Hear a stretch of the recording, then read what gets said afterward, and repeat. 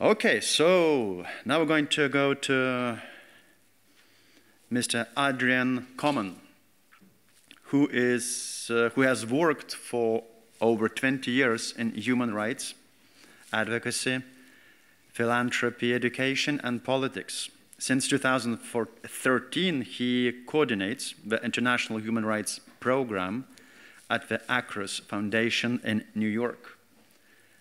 Adrian was a litigant in case Coman, Hamilton, and Accept versus Romania, in which the Court of Justice of the European Union decided that the term spouse in the Un European Union free movement law includes same sex spouses.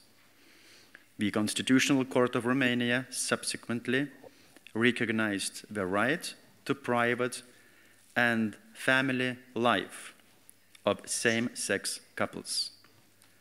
Adrian is going to speak, uh, going to deliver a presentation, a plaintiff's perspective, European Court of Justice recognition of same sex spouses. Okay, Adrian, are you with us? Yes, I am. Can you hear me? Yes, we can hear you. Hello to you all, and uh, good morning from New York City, where it is 6:30 in the morning. But I am very ready to be good with morning, you. Good morning. Good morning. And I'm sorry I cannot be there because I have been several times to Vilnius, and I have great uh, memories from uh, from your country. So um, I want to thank you for this opportunity to share with you um, our litigation story and what it means to my husband Clay and I as uh, plaintiffs. And I am aware that Lithuania is one of the six uh, EU countries where the judgment of the Court of Justice of the EU, in our case, uh, really, uh, really mattered. So I want to start uh, by first showing you a few photos of my family, and I think my my new friend Audrius arranged so that I can do some clicking through these um, slides. So um, first of all, you see uh, my husband Clay and I in uh, New York in uh, those photos. Um, we met in 2002. He is from Texas and he is sleeping now, so he cannot be on. He has a hard day. Um, the first photo is uh, the two of us protesting at the uh, Republican convention that took place in New York in 2004. The second one is the two of us in uh, uh Brooklyn. Look how young and beautiful we were. And uh, now I realize, Audrius, that I don't see an arrow anymore to be doing the clicking. So I don't know what, okay, he's done it for me.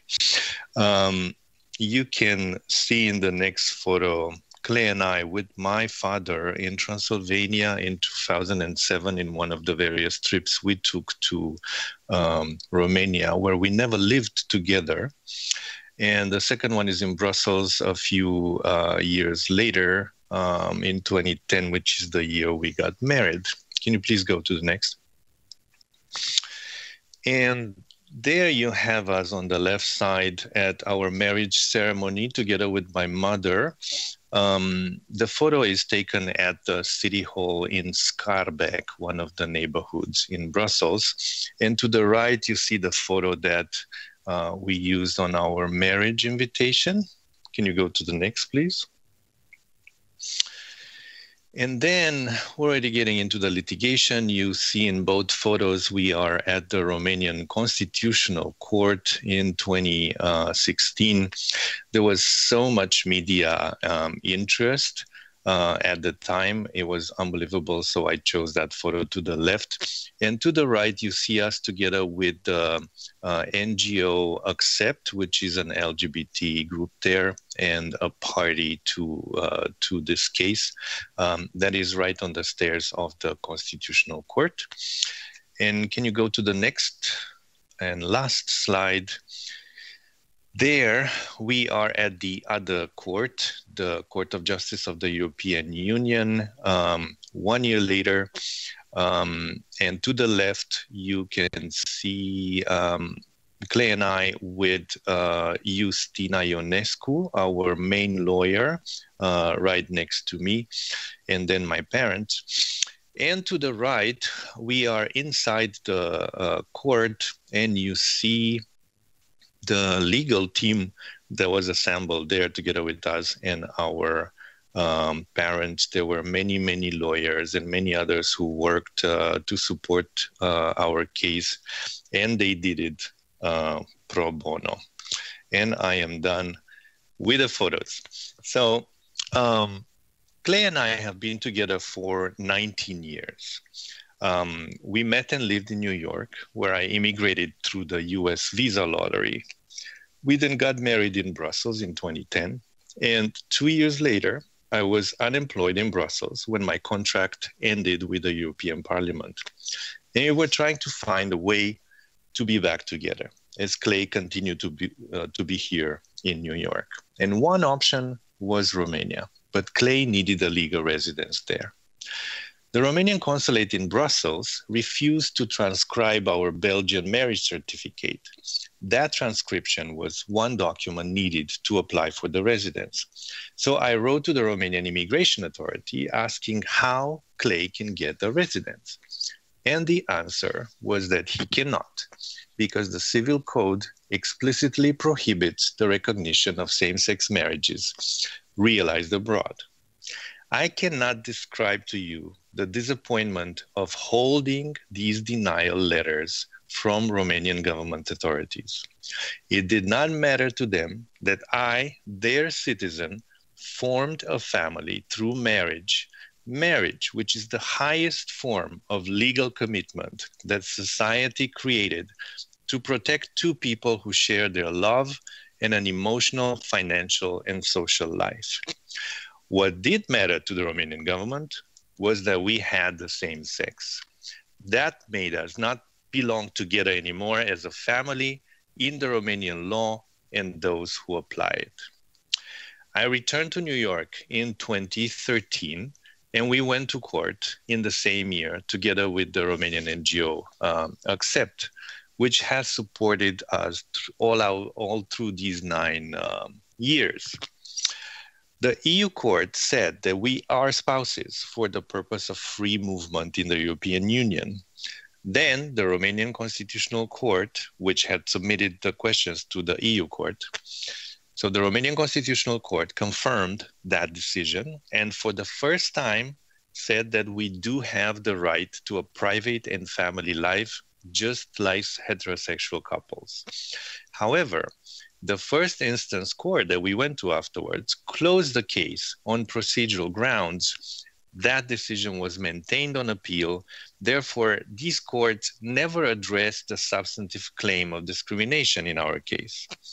So we filed a complaint with the European Court of Human Rights in Strasbourg, which is the court of last resort. And that's where we are at the moment in our litigation.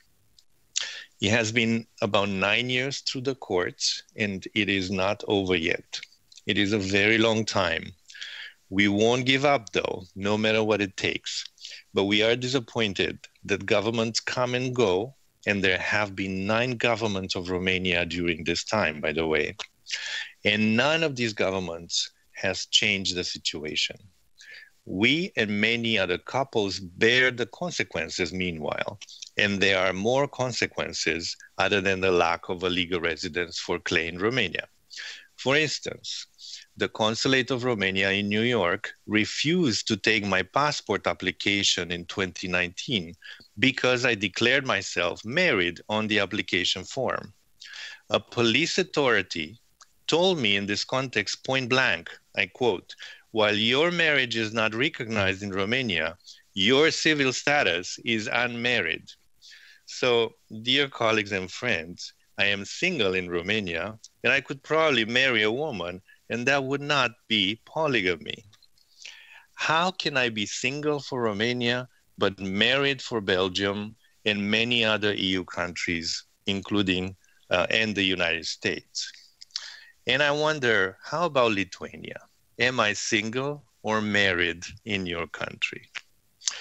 I did get a passport eventually, but I had to go to the media and to court again in a second litigation on the same issue essentially. And I am lucky to have an American passport.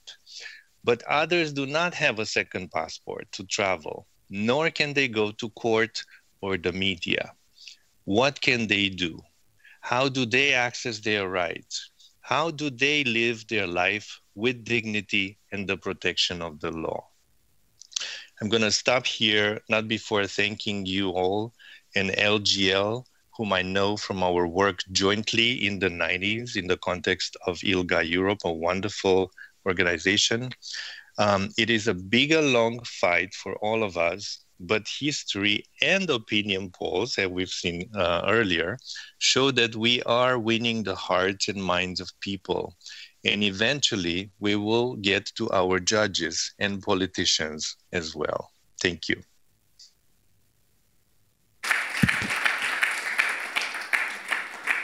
Thank you so much. And uh, Adrian, if you can stay for a little bit longer, and I will ask uh, if anyone has questions. And I see Monica is ready to ask. Well, I do not have a question, but I have an answer to Adrian's question.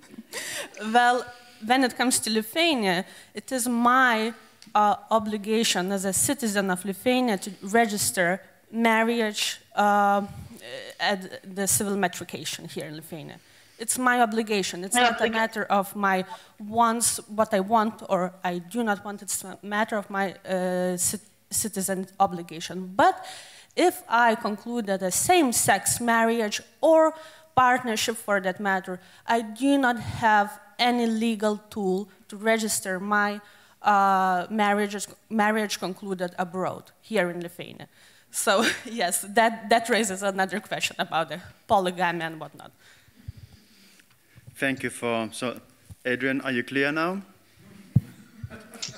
Um, well, I think I have to take a trip there and okay. I'll try it out. Super. On the 4th of June, I think you should be coming here. It's going to be a, a lot of fun and a lot of good discussions. So, any more questions? No more questions. So, thank you once again, Adrian, and uh, you are creating history. And uh, just round of applause once again. Me too. Thank you.